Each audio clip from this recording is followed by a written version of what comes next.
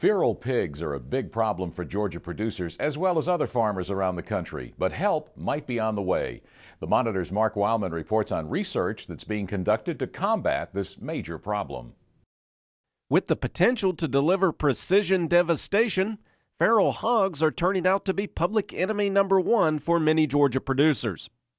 We saw firsthand the devastation these animals can cause back in the spring at the Middle Georgia farm of Rocky Nobles. The pigs use their noses to root out this cornfield and to get their prize seeds before the crop could even get started. The only remedy to this problem has been to stay up late and have your gun ready. Now, research is underway at Auburn University to develop an oral contraceptive that is pig specific. Because feral swine are the way they are, they're a wild animal, it's difficult to catch them. Uh, it would be much better to be able to have it in a bait form so that the animal can eat it on its own and be uh, and and and uh, the antibodies then can develop in the antibody in the animal without the animal having to be caught or or uh, worked with at all by humans.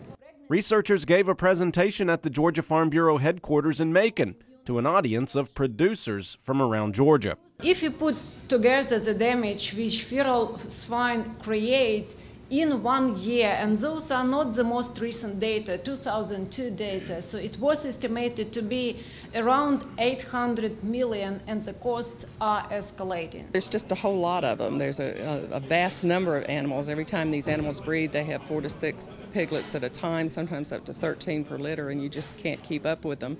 The product is designed to sterilize the pigs to control populations, but the trick is to single out pigs so that other animals in the wild are not affected. Researchers displayed a number of slides that outline this process and are excited about their progress. So far, we have 12 candidate vaccines which we will start testing in domestic swine for immunogenicity and safety this coming November. Cost estimates of applying such a product are not fully known yet and even the method of application has not been determined. We'll work with a company who will help us to prepare the baits. It'll have to be something that the, the pigs will eat. It could be in a solid form, it could be in a liquid form. Um, we, we just don't know yet.